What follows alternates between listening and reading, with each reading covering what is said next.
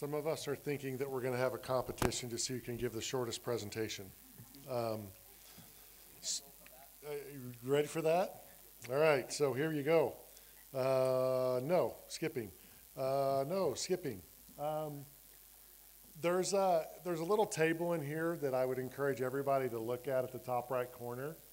Um, I see very interesting statistics and different things all the time.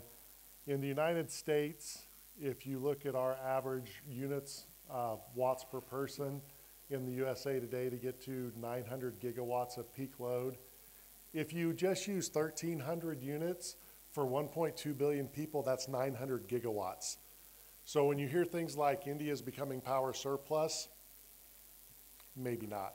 Um, the overall purpose and thought process in these numbers is just a recognition of the bottom curve.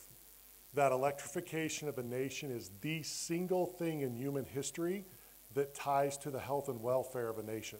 There's never ever been an indice before that's ever tied to a nation's total health and welfare.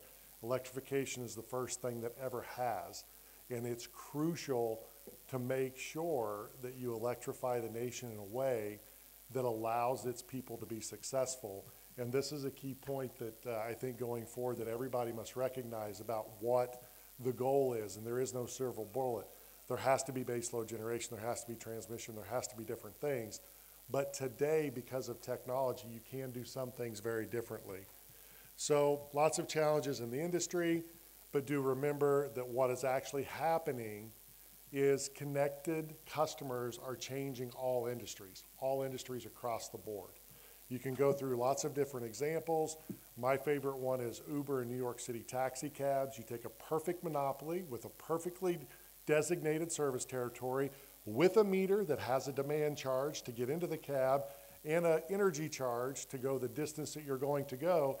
And it got upended in a perfectly regulated monopoly by technology because technology always wins. It will roll over us if we don't pay attention to it. And at the end of the day, the interesting thing about connected industries and connected customers are it's a network, okay? I am very much opposed to the whole thought process of saying disaggregated microgrids. The, the reason that electrification works is it's the most economic way to do it. While there are reasons to do microgrids until a network can be put in place, at the end of the day, the value for mankind comes from a shared infrastructure. And while you can have resiliency needs and other things by putting all these things together, the overall point at the end of the day of what technology will bring us in this industry today is simply that connected customers with distributed resources will become a positive impact to our grid to make this network of the future work. Because if you think about a network that looks like that, it doesn't work. Thank you.